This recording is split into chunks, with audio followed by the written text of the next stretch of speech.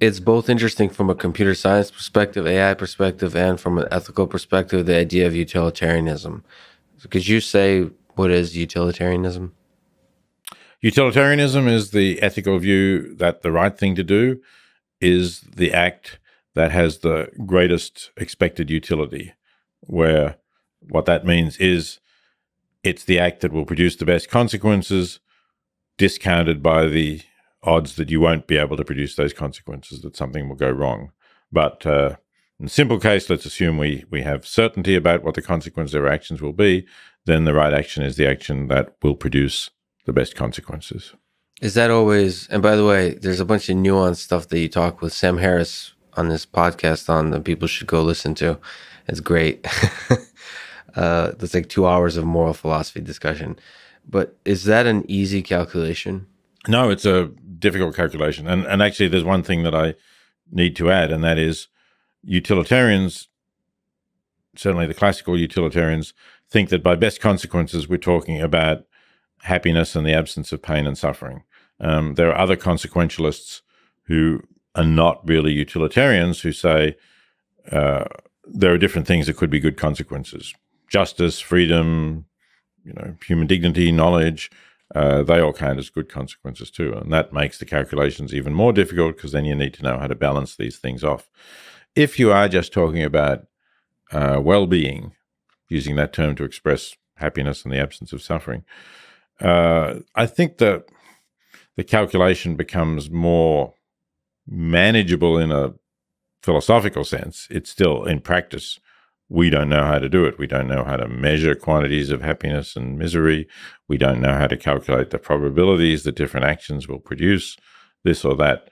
Uh, so at best, we can use it as a as a rough guide to different actions, and one where we have to focus on the short term consequences because we just can't really predict all of the longer term ramifications. So, what about the sort of what what about the the extreme suffering of very small groups? Sort of utilitarianism is focused on the overall aggregate, right? Mm-hmm. Uh, how do you uh, would you say you yourself are a utilitarian? You yes, find I'm that utilitarian. Sort of. Do you what do you make of the the difficult ethical, maybe poetic suffering of very few individuals. I think it's possible that that gets overridden by benefits to very large numbers yes. of individuals. Uh, I think that can can be the right answer. But before we conclude that it is the right answer, we have to know how severe the suffering is and how that compares with the, the benefits. Uh, so I, th- I tend to think that uh, extreme suffering is worse than, or is further, if you like, below the neutral level than extreme happiness or bliss is above it. So when I think about the worst experiences possible and the best experiences possible, I don't think of them as equidistant from neutral. So, like mm-hmm. it's a scale that goes from minus 100 through zero as a neutral level to plus 100. Um, because I know that I would not exchange an hour of my most pleasurable experiences for an hour of my most painful experiences. Even I wouldn't have an hour of my most painful experiences, even for two hours or 10 hours of my most painful experiences. Did I say that correctly? Yeah, yeah, yeah, yeah. yeah. Okay. Maybe twenty hours then. It's yeah, like twenty-one. Well, What's the exchange rate? so, so that's the question. What is the exchange rate? But I think it's it can be quite high. So that's why you shouldn't just assume that um, you know it's okay to make one person suffer extremely in order to make two people much better off. It might be a much larger number.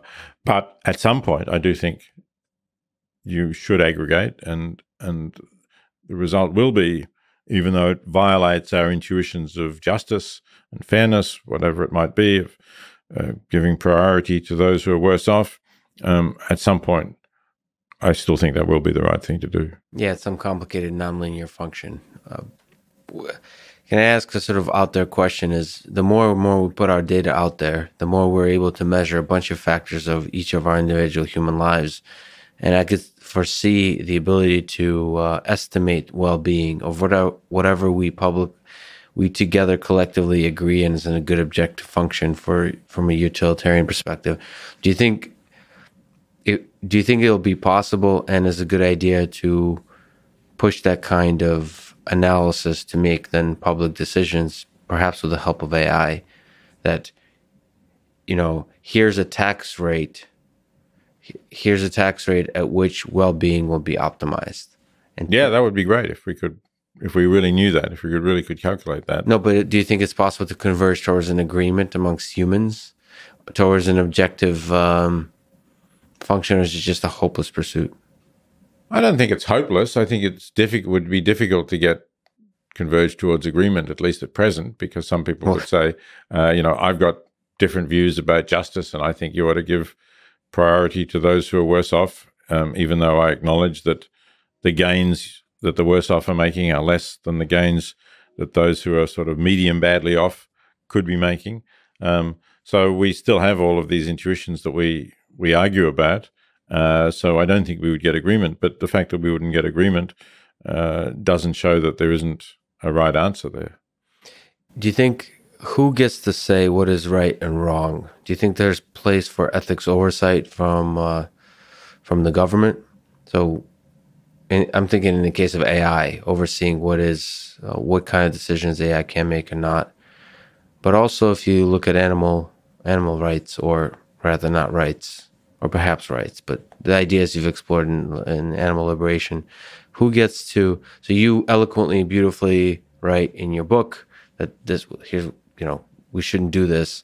But is there some harder rules that should be imposed? Or is this a collective thing we converge towards a society and thereby make the better and better ethical decisions?